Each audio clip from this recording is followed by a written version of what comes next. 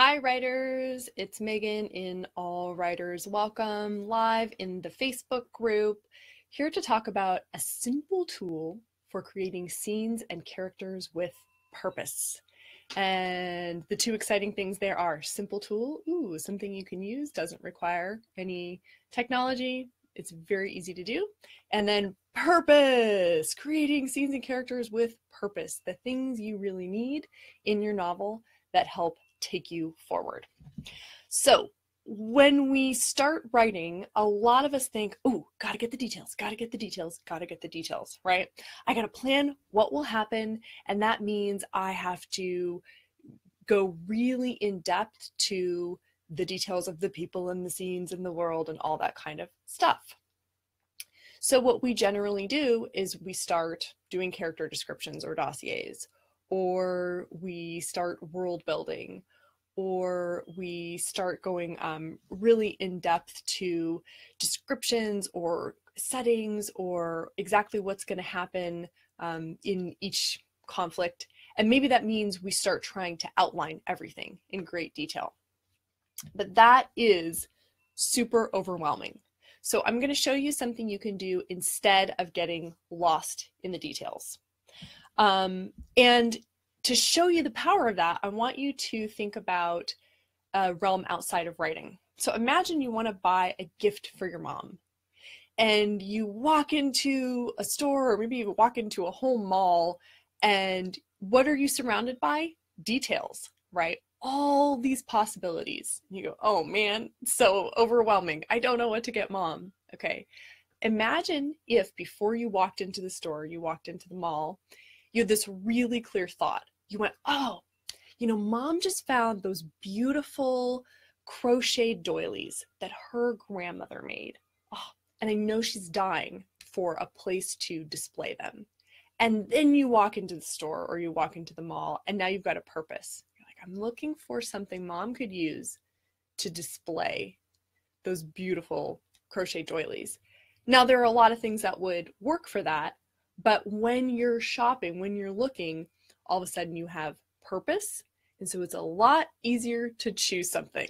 Okay, so now take that experience we've probably all had with having a hard time finding a gift for somebody and let's bring it back to writing. Can you see the power of having purpose?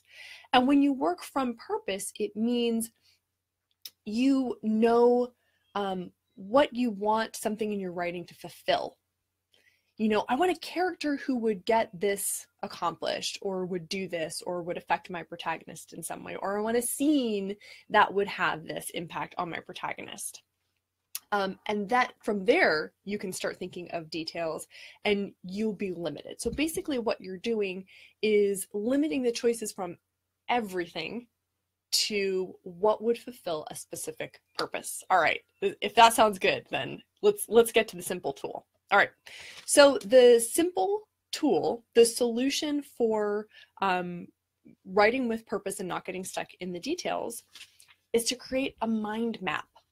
Ooh. A mind map is a type of brainstorm and it involves organizing information by grouping ideas together. And the purpose of it is so that you can quickly glance and have an, a sense of which ideas go together. And sometimes that means one idea leads you to others. So if I think of, um, you know, a, a purpose I have, then I might come up with several different choices for maintain, for achieving that purpose. I might come up with a lot of different ways to accomplish that one goal. And then once I have those all written down, I could decide among them. Or it might mean I have one idea linking to another. You know, first this will happen, which leads to this, which leads to this, which leads to this different things come out different um, on different mind maps. So it's just about getting your ideas down and being playful and experimental. All right. So when you're looking for purpose in your writing and you're using your mind map, what you're going to do is think of what you need your character to go through. So I'm imagining a, a, protagonist, Jill, and I'm thinking, okay, maybe I need a scene where um, Jill wants to impress Mark. Ooh. And then that leads me to a lot of other questions. I'm not sure yet how she should impress him, what would impress Mark, what skills does Jill have that I really want her to show. But I would put, you know, I've got Jill in the middle of my mind map and I would put, ooh, impress Mark. That's one thing I know should happen. Could happen in a lot of different ways, but that's one goal. Maybe another um, piece of my mind map would be a particular character. I want there to be some character who um, accuses Jill of something, and that will give me a chance to show how Jill really values being seen as trustworthy. So I'll start just populating my mind map with what I want my protagonist to go through. And that starts giving me purpose. Ooh, a scene where she's going to impress somebody, a character who's going to accuse her of something. And I'll start to gather those purposes. All right. So when you create that mind map, you're not looking for specifics. My, listen again to my examples, you know, where Jill can impress Mark that might be any number of things. It might be with her knowledge. It might be that she knows how to fix a transmission, right? Depending on who my characters are, I've got a ton of options. So to get you to those purposes, here are some um, here's some language you might have in mind. Um, what do you want to reveal? What do you want to force a character to choose? what do you want to push a character to do? Um, is there a place where you need to explain why that could be your purpose? Or your purpose might be to make the reader feel sympathy or hate or um, to relate to a character. And there are a ton more purposes you could have, but those I hope just get you started thinking about how to create a purpose for your your uh, your scenes and thinking, okay, what do I need to have my protagonist go through? So start building your mind map with your purposes around the outside. Um, once you've got some purposes set up, here's your next step. Now you're ready to go shopping. This is just like the example with looking for a gift for your mom. Once you know, okay, I want something that fulfills this purpose of Jill being able to impress Mark, you can look at scene studies or character studies you've already created you can um, look at free writes you've done. You can go shopping in what you've already mapped out or even written or drafted. You may have done some idea gathering, said, oh, you know, I would just love for there to be a scene in this particular setting just because that's such an important setting in my world. Ooh, well, you know, start shopping there. Could that be the place where Jill impresses Mark, right? Start looking through what you already have. And of course, you can create new material as well. You can draft new material. But whether you're shopping or creating new material, you're going to work more efficiently and more effectively when you have that purpose and you know what that scene is for. All right, so your action to take, your assignment, should you choose to accept it, is to create a mind map. And again, you're going to take your protagonist, put that person in the center of the paper. And around your protagonist, you're going to start writing down some of the milestones you want your reader to see and that could be a, a, you know a way this person feels a decision she has to make um, a conflict she's going to get into with somebody um, you know any of the moments that you want her to go through. And they don't have to be in order. You don't have to know which one you want to have first. It's just putting placing them all around. So things like, you know, I've got my protagonist in the in the middle, and then I want to show he's terrified of commitment. That's one idea that comes up. Uh, but I also want to show his love for bunny rabbits, um, and I also want to show how angry he is toward his father. You know, and and I'll map those in and create the purpose. Now, this mind map is going to be incredibly helpful for you in planning because you can take simply that mind map and you can start turning that into an outline by putting those moments in order. You know, oh, what do I want readers to learn about him first? Will it be that he loves bunny rabbits or that he's angry at his dad? And you can start putting those in order.